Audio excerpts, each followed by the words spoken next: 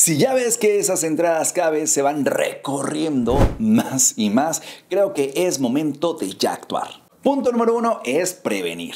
Si eres joven y apenas comienzas a ver los inicios de la pérdida de cabello o incluso aunque aún no veas esos inicios, es muy importante prevenir. Lo mejor será prevenir la calvicie al futuro o por lo menos retrasarla. Porque sí, déjame decirte y darte una mala noticia. Puede que tarde o temprano te quedes sin cabello, pero es mejor que esto suceda hasta los 80 y no a los 40. ¿No crees tú, muchachón? ¿Y cómo puedes prevenir? Lo primero que te diré es que analices la rutina del cuidado de tu cabello que tienes. Por ejemplo, el shampoo que utilizas o los productos que utilizas para peinar tu cabello. Si lo que queremos es prevenir y fortalecer tu cabello, lo mejor es utilizar un shampoo que contenga estos beneficios. Por ejemplo, el shampoo El Muchachón está hecho a base de ingredientes naturales y orgánicos que le ayudan a darle fuerza a tu cabello previniendo que se caiga. Además que también ayuda a estimular el crecimiento del cabello. Y ayuda mucho a la salud de tu cabello ya que no contiene químicos agresivos como sulfatos, parabenos, siliconas y colorantes. Lo que suele dañar en algunas ocasiones la cutícula de tu cabello, lo que permite que se seque y que se caiga. Puedes conseguir el shampoo en www.elmuchachon.com.mx con envío a todo México.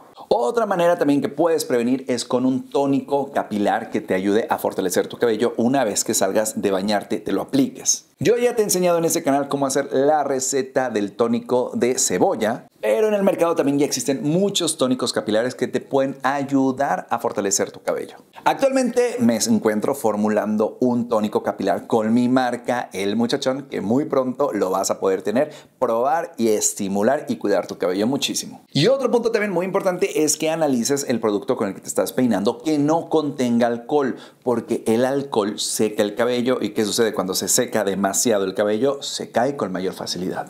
Punto número dos es analiza si eres candidato para un injerto capilar o un injerto de cabello. En cuanto veas que tus entradas o tu coronilla ya comienza a verse cada vez más blanca sin cabello, mi recomendación es que comiences a analizar las alternativas que tienes. Por ejemplo, lo mejor es el injerto de cabello. Puedes ir a consultar a un experto en injerto capilar y ver los precios y las opciones que tienes. Si eres candidato y te gustaría hacerlo, pues hazlo. Y para que así te sientas más cómodo y no esperes hasta que no tienes ni un solo cabello para hacerte el injerto capilar.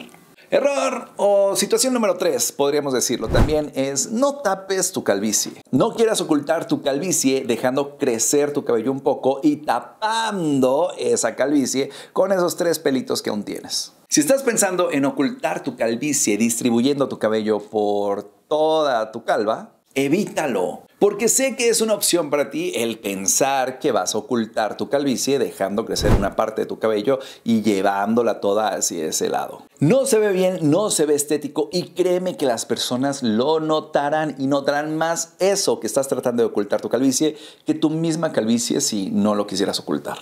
Es mejor dejar tu cabello corto y uniforme a que te lo dejes largo y trates de ocultar tu calva. Y entre más corto tengas tu cabello, menos evidente será tu calvicie también. Cuarto punto es aceptar que te quedarás calvo y llevarlo con estilo. Si ya no hay remedio ni opción para tu calvicie o simplemente te gusta ser pelón o llevar el cabello o llevar un estilo pelón, no llevar porque ya no tienes cabello. Lo mejor será aceptar y adoptar un nuevo estilo en el cual llevarás tu estilo pelón. Muchas veces incluso puedes verte mejor pelón que con cabello y mucho con mucho más estilo, porque puede darte un nuevo estilo y personalidad. Además que si tienes barba puede ser un gran complemento tu pelona y tu barba. Y pues bueno muchachón, eso es todo por el video del día de hoy. Espero te haya gustado y te haya servido este video para que así sepas qué hacer en caso dado que te estés quedando calvo y tengas las diferentes opciones. Primero, prevenir y en caso dado que ya no tengas ninguna de las opciones anteriores, aceptar tu calvicie. Ya sabes, muchachón, que me puedes seguir en Instagram y en TikTok, donde te comparto más consejos y más contenido que sin duda alguna te va a ayudar a mejorar ese cabello, si es que aún lo tienes, y si no, pues a darle más estilo y forma a tu piel, a tu barba, por ejemplo.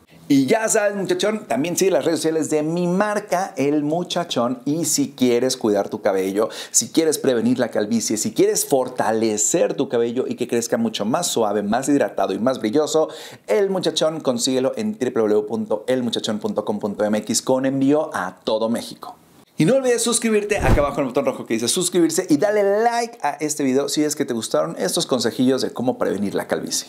Y déjame acá abajo en los comentarios si te estás quedando pelón y qué estás haciendo al respecto. Recuerda que yo soy JM Montaño y nos vemos en el próximo video. Good luck.